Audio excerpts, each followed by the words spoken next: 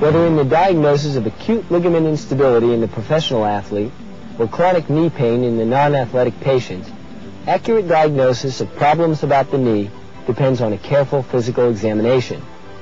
In this videotape, we will present a thorough, reproducible examination technique which when combined with an understanding of basic knee anatomy and a familiarity with common knee problems will result in consistent diagnostic success. Examination begins with a careful history, which when possible emphasizes analysis of the exact mechanism of injury.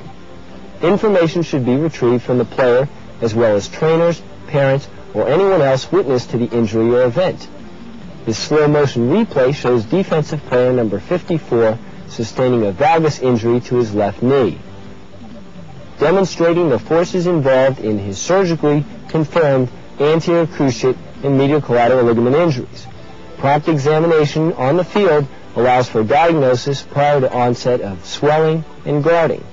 More commonly, such footage is not available, and diagnosis of a knee complaint begins with a detailed patient history. What was the onset of the symptoms? What is the nature and severity of the pain? Is it dull and aching? Sharp and intermittent? Has there been any associated swelling at the time of the injury or subsequently? Was there a pop at the time of injury or does the patient feel any clicks? Has the knee locked, unable to be extended or flexed from a fixed position? Has the knee given way or felt unstable, and if so, doing what? Are the symptoms brought on by any particular activities? What particular things make the symptoms better? This carefully taken history gives the examiner a background against which he may now perform a comprehensive physical examination of the knee, which begins with inspection. This patient should be properly attired to see the entire extremities. Observe how the patient gets on and off the examining table. Notice the overall alignment, looking for evidence of genu varum or valgus. Have the patient walk, inspecting their gait. Is there squinting of the patella or pronation of the feet? Look for a Trendelenburg lurch, recurvatum thrust, or a varus moment of the knee. Don't be fooled by static appearances. Only on the weight-bearing view on the right can you appreciate the varus deformity in this patient. In the supine position, examine for evidence of asymmetry. Atrophy is detected by first marking a fixed anatomic landmark, here the medial joint line. Then, measuring from a fixed distance, here 15 centimeters from the medial joint line, the thigh circumference is then measured. Compare this measurement to the opposite normal thigh. The presence of greater than a half centimeter difference often reflects objective evidence of real underlying knee pathology.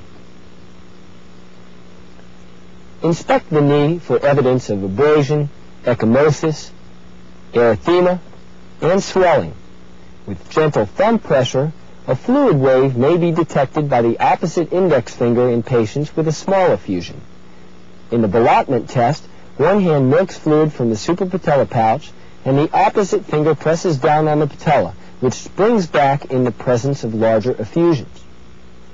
Palpation is performed in a thorough and systematic manner, beginning with the medial and lateral patella facets, gently displacing them in either direction to more easily access their undersurface. Palpate the patella and its prepatellar bursa itself for evidence of swelling, fracture, or contusion. Palpate the quads and the VMO for continuity and tenderness. Feel the inferior pole of the patella. Identify and palpate the lateral collateral ligament, which becomes more prominent in the figure of four position. Palpate the superficial medial collateral ligament along the mid aspect of the joint line, as well as the tibial and femoral attachments.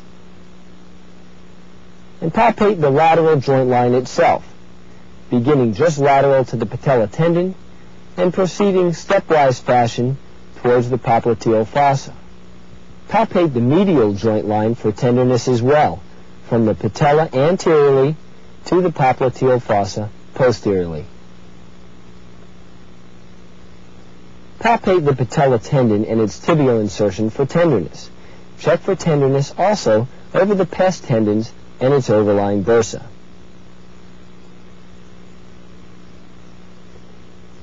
Range of motion assessment is obtained both actively and passively. Passive measurement is carried out using a goniometer in full extension and in flexion with the patient supine. Compare this motion to the opposite side. Check for the degree of active flexion and active extension. Note any extensor lag, having the patient perform a straight leg raise. Loss of extension is better appreciated prone measuring the difference in heel height in centimeters. Evaluation of the patellofemoral joint begins with measurement of the Q angle, measured by a line drawn from the anterior superior iliac spine to the mid-patella, which bisects a second line from the patella to the tibial tubercle. The angle measured should be less than 15 degrees in cases of normal alignment. The apprehension sign is the most common physical diagnostic test for patellofemoral malalignment or instability and involves attempted lateral displacement of the patella. It is important to observe the patient for evidence of apprehension or discomfort during this maneuver. More subtle tests of malalignment include the passive patella glide test, attempting to maximally laterally displace the patella. The ability to displace it laterally greater than 50% of its normal width is indicative of lax medial restraints. The passive patella tilt test attempts to tilt the patella from its lateral side, which if less than 15 degrees indicates tight lateral restraints. Actively look for the J or jump sign as the patella temporarily subluxes or dislocates from its trochlear groove during extension. You have already palpated the facets for tenderness. Check for patellofemoral compression by having the patient perform a straight leg raise while restricting the patella, and feel for crepitus throughout the range of motion. Evaluation of meniscus injuries begins with joint line palpation. Observe the patient for evidence of specific joint line tenderness. The most reliable physical test to detect meniscal pathology is the McMurray test, in which the examiner's fingers are placed along the medial and lateral joint lines. The knee is extended from a fully flexed to a 90 degree flexed position while performing abduction and external rotation and adduction and internal rotation. Palpate for a click along the joint line indicative of abnormal meniscal mobility. Knee ligament evaluation is performed in each of the most common instability planes. Begin in anterior instability with the Lachman test, the most accurate exam for detecting anterior cruciate ligament or ACL insufficiency. The knee is flexed 15 to 30 degrees and apply an anterior force to the tibia relative to the fixed femur, looking for both the amount of anterior translation and the quality or proprioceptive nature of the endpoint. Remember to examine the opposite knee for comparison of the ligament laxity. In the anterior drawer test, an anterior force is applied to the 90 degree flexed knee, feeling for the degree of anterior translation. This is not as sensitive or reliable as the Lachman test, which under anesthesia is particularly striking.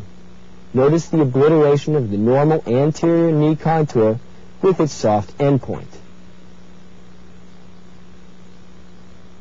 Anterior lateral rotatory instability also reflects ACL insufficiency and is tested commonly along with the Lachman test, known as the pivot shift, jerk, or a variety of other names, all are carried out with the examiner grasping the slightly internally rotated foot, and while applying a valgus stress, gently flexing and extending the knee, looking for a shift or jerk at 20 to 30 degrees. Under anesthesia, this phenomenon is striking, no longer impeded by pain and guarding frequently present in the awake and acutely injured patient. As the knee flexes beyond 20 to 30 degrees, the anterior laterally subluxed tibial plateau reduces. This occurs as the iliotibial band becomes posterior to the axis of the knee, affecting posterior reduction of the plateau in the ACL deficient knee.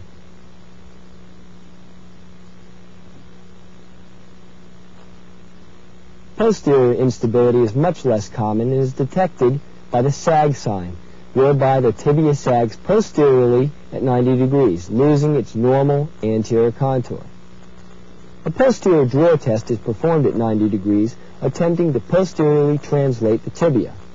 The posterior drawer of the internally rotated leg suggests injury to the posterior cruciate ligament, the PCL. Notice in this patient the sag sign of the right knee. With minimal anterior force, the examiner restores the normal anterior contour of the knee.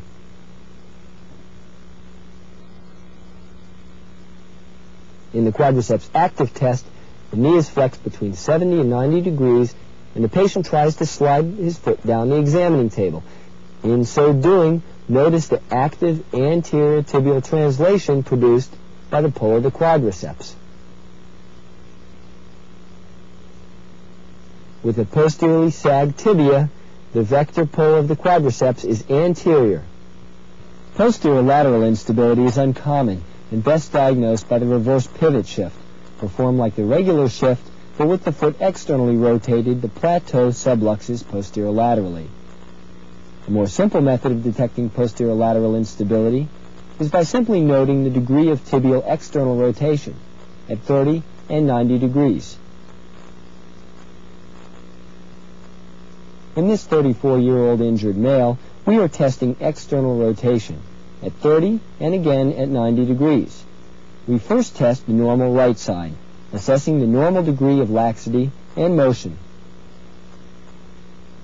Measurement of the injured left knee shows increased external rotation at 30 degrees, consistent with posterior lateral rotatory instability. At 90 degrees, additional increased external rotation suggests PCL damage as well. A final test of posterior lateral instability is the varus recurvatum test, so named for the position of the extremity when suspended by the great toe. Medial instability is tested by a valgus stress applied to the 30 degree flexed and fully extended knee. Placing the leg in the axilla frees the examiner's hands to actually palpate the exact amount of joint line opening.